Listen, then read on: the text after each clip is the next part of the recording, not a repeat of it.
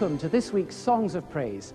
Here in Lichfield Cathedral, I'm surrounded by choristers from all over the north of England and from Scotland who come together for this royal occasion.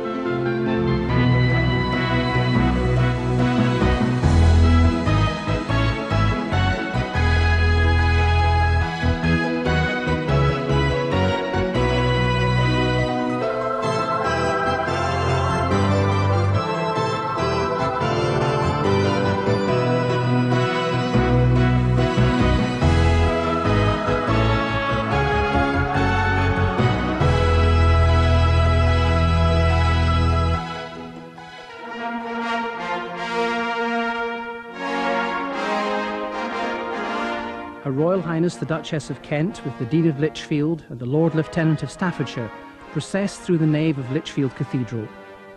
The Duchess is with us for Songs of Praise as her first engagement in her new role as patron of the Choir Schools Association. In the congregation today are hundreds of children from the choir schools who've been gathering here at Lichfield to spend the day with Songs of Praise. Not all of them are choristers, of course, but they and their teachers, parents, and friends are joining us for a programme which will celebrate the work of the schools in the beauty of music. So now, as the Duchess of Kent takes her place, the organ fills the cathedral with the introduction to our opening hymn Angel Voices Ever Singing.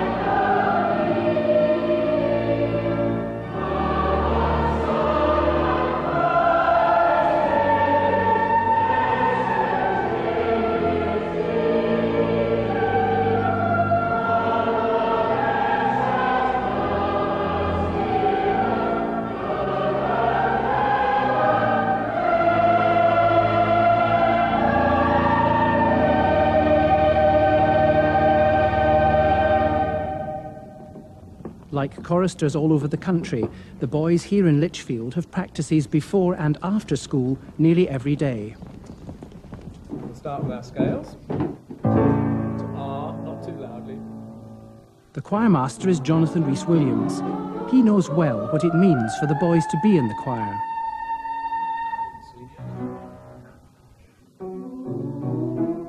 It builds a deep commitment uh, within them, a sense of discipline and of having to deliver the goods at a regular time, a regular occasion, and a sense of loyalty to a cause. They come to do one thing which has to be seen in terms of excellence. They have to strive for that excellence. It's a daily battle. If they win out, and if the music really does come alive, and on many occasions it does, then it's an experience which, for those people to have been there and taken part in, is irreplaceable. There is a sense of innocence imparted uh, in the young boy's voice. Um, the clean line of a boy's voice, perhaps matching the clean lines of a vast building in which they sing. The way the arches go up, their sound seems to soar in a way that is very attractive and evocative, and uh, for centuries has won people's hearts.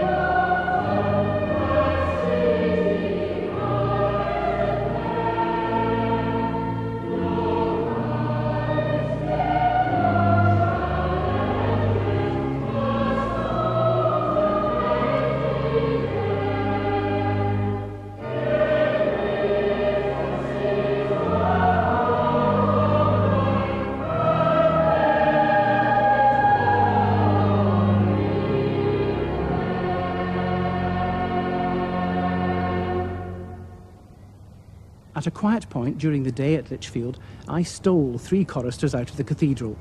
They told me about the commitment involved in being a chorister.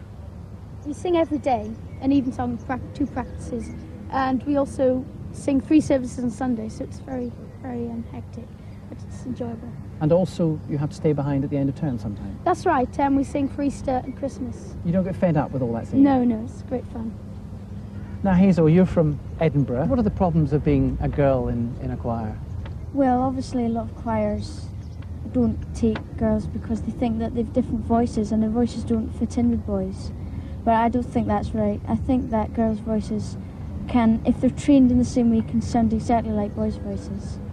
Joseph, you're a probationer in Liverpool. What does it mean to be a probationer? Probationer means that you're just a beginner beginning, beginning choir practice. So, what sort of test did you have to take to get into the choir? You have to know what notes are called and and what staves are and how, how long you hold on notes for and once you have to sit still in the choir for five minutes. Five minutes. Yeah. Is that difficult? No. Oh, great. I would find that extre- extremely difficult. Um, now, Andrew, you're a head chorister, so right. what does that great office bring with it? Well, mainly it means keeping the boys in order while the organist is away. And of course, head chorister also means leading the choir as well as um, looking after them. So, despite all the hard work, is it worth it being a chorister? Yes, Yeah, brilliant. definitely. Well, it's time for you to rejoin your colleagues inside the cathedral. And they're going to sing for us a little anthem by Robert Herrick and Peter Hurford. It's called The Litany to the Holy Spirit.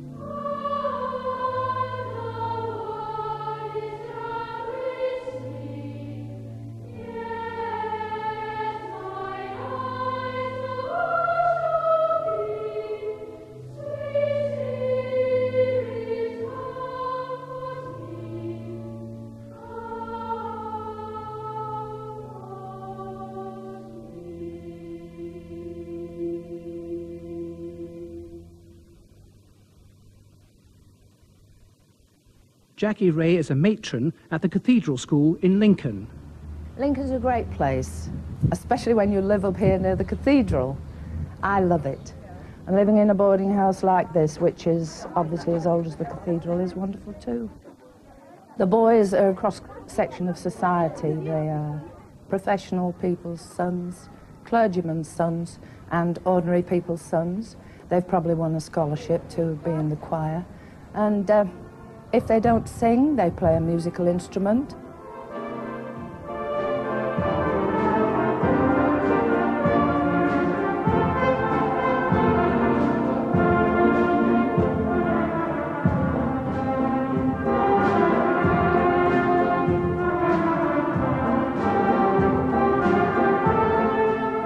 They have a very good education. It's musically biased, of course, but they get a general education. I think most of the boys are happy. One or two don't like coming because, of course, they're homesick. But I find they miss the dog more than they miss Daddy. Anyone with something exciting? Sofa.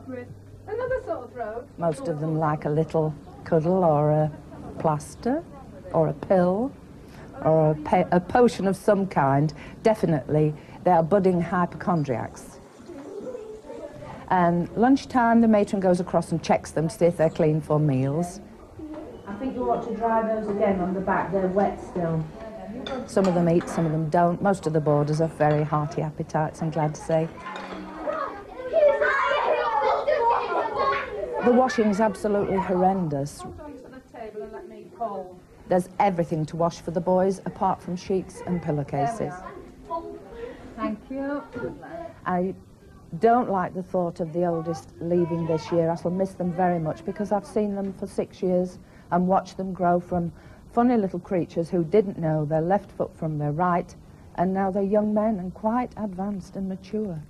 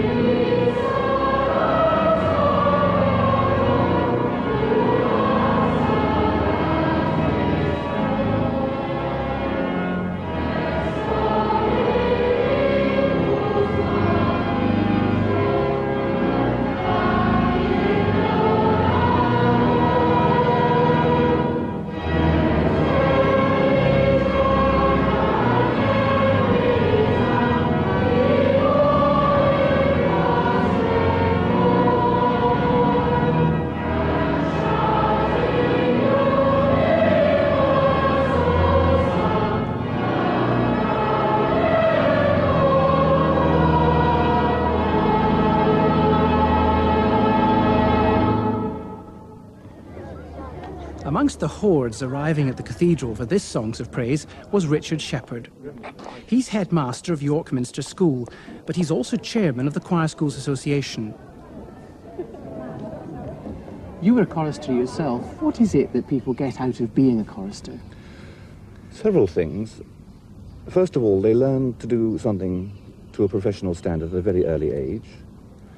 Second, they have very little spare time, so they learn to organize what little time they have very well.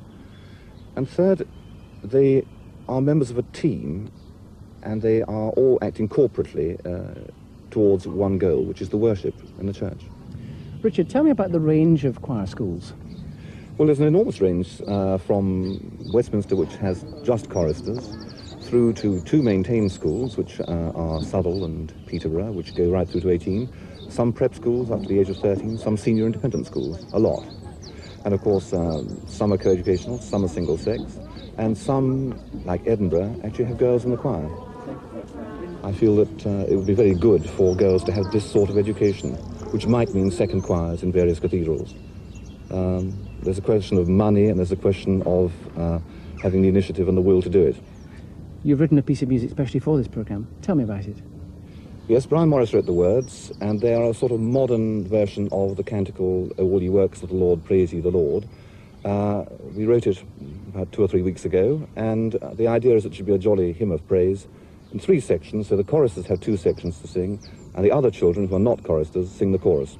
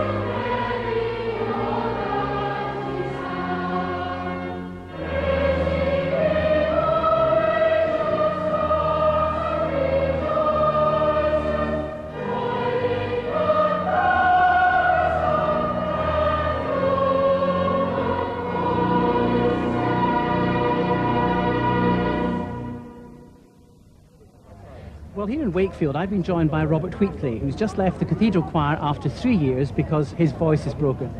Robert, how did you get involved in the choir in the first place? Well, when I was about nine, I went to Queen Elizabeth's Grammar School on Northgate. Um, became friendly with many boys, and a few of them came to the choir here.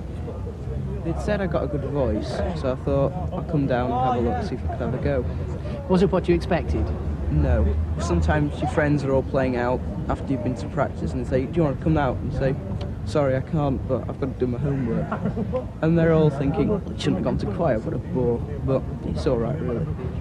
Well, Robert, why don't we go inside the cathedral now and meet the bishop?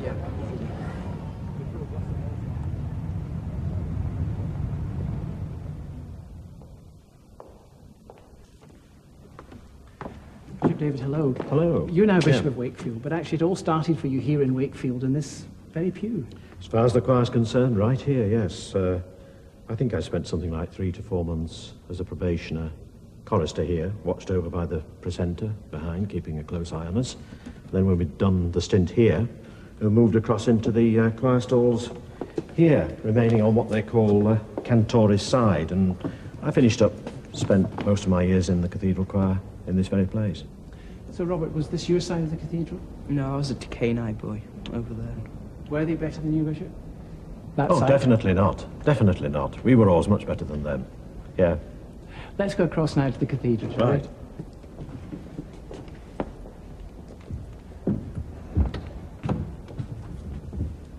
Well, it only took us a few seconds to cross the choir. In reality, it took you a little longer than that. But looking back now, nostalgic feelings?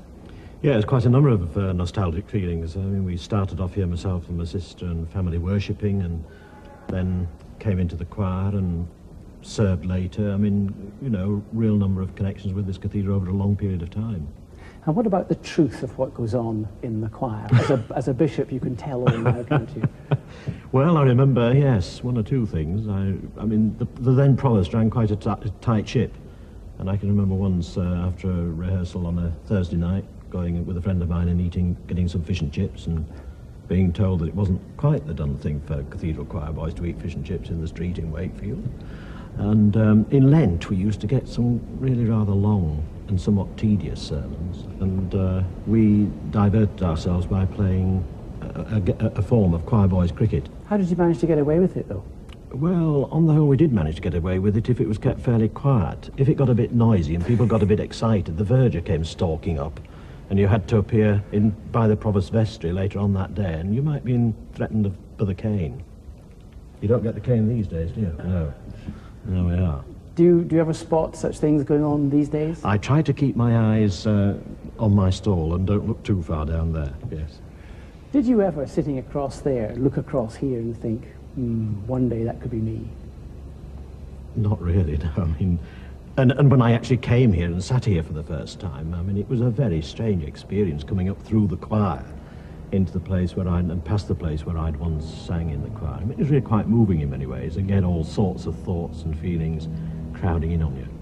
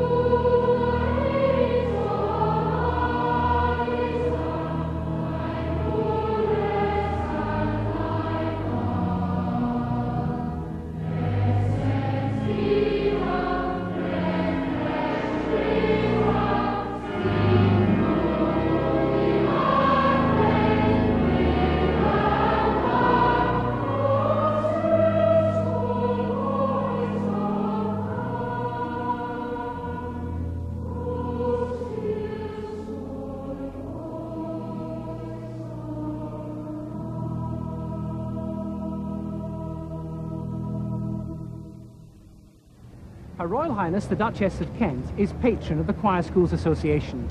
So I've come here to St James's Palace in London to hear from the Duchess of her impressions of that splendid day in Lichfield. Arriving, I think, for the first time at Lichfield Cathedral and seeing it in all its glory. And I shall never forget the, the beautiful precincts around it, the green grass and the summer flowers just starting, and this mass of choristers walking all over the grass, happy faces, longing to start enjoying the occasion. How important for you is the beauty of music in worship? It plays a very important part. We're now in Lichfield Cathedral, built in Saxon times, and man has worshipped there since time immemorial, and music has played its part since then. You play the organ yourself. What is that like in, in a beautiful space, in a wonderful environment? What does that feel like for you? It's very hard to describe. When you first play an organ in a great cathedral, you feel very humble and very small that you can actually make this unique instrument, you can make this great cathedral practically shake. I think that the combination of the organ, the choristers, and the ambiance we're in in church inspires us to worship. What was it that led you to take on the role of patron of the association? Of course, every major cathedral has its choir school, and numbers are running down a little. And I've often wondered if parents of talented children know about these schools attached to the cathedrals. I have a tremendous love of choral music and church music in particular. So it didn't take me long to make a decision when I was very kindly asked to become patron.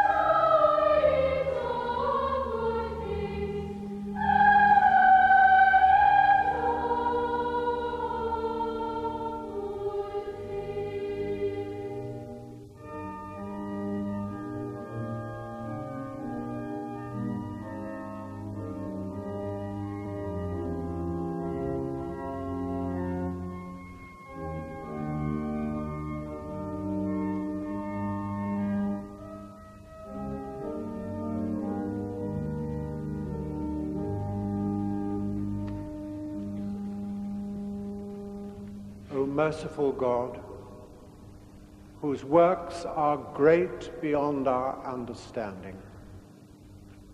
Look mercifully upon us, we beseech thee, as we endeavor to praise thee, whom no man can worthily praise, through Jesus Christ our Lord. Amen. Unto God's gracious mercy and protection we commit you.